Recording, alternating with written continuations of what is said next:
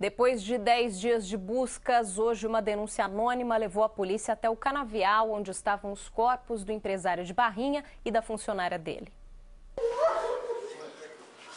A família ainda tinha esperança de encontrar Camila Fernanda Guatelli com vida. A gente procuramos em tudo quanto é lugar, colocamos, denunciamos a polícia. Procuramos no meio das canas, o carro estava sumido, a gente não encontrava o carro. A auxiliar de escritório desapareceu no dia 28 de dezembro junto com o patrão Claudomiro de Oliveira, que era dono de uma empresa de caçambas em Barrinha. Os corpos foram encontrados dentro do carro do próprio empresário no meio de um canavial em Guariba. A polícia já tem o nome dos suspeitos e sabe a motivação do crime. A investigação indica que o empresário era o alvo dos bandidos. Camila tinha 18 anos e ainda amamentava a filha de um ano.